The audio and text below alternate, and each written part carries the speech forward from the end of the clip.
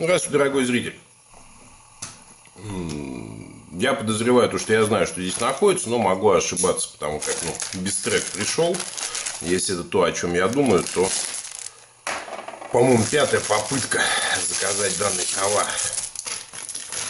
Видимо, их таможня не пропускает, считая, что это оружие.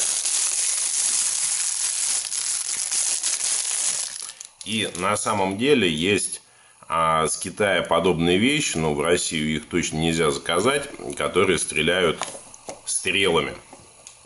Ну, то есть тут надевается специальная а, накладка, насадка, да, такая.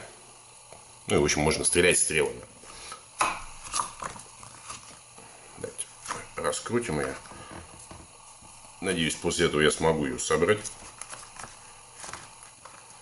Не, ну как-то что должна раскручиваться. Не может быть одноразово. Я видел, продаются резиночки.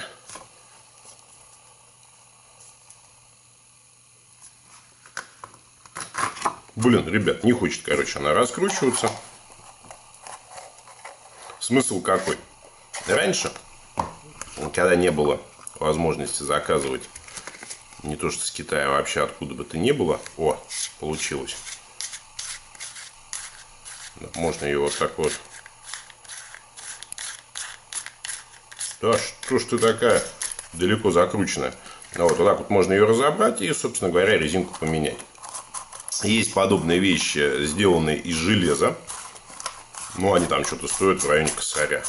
Я уж не знаю, там с титана делают или с того самого сплава, с которого делали чаплики в известном фильме. Ну, в общем, смысл какой. Раньше это был а, ну, либо палец от э, перчатки резиновой, либо презерватив, либо что-то еще, и э, часть, э, в которую вкручивается лампочка. Соответственно, сюда берем там, тюм, вставляем какой-нибудь камушек, пам, и стреляем. Ну, вот, собственно говоря, с пятой попытки только она пришла. Там несколько ссылок я все-таки выложу. Воняет примерно как те самые латексные перчатки. Ну, в целом задумка очень даже, да, то есть не надо там использовать много изоленты и очень серьезно выглядит.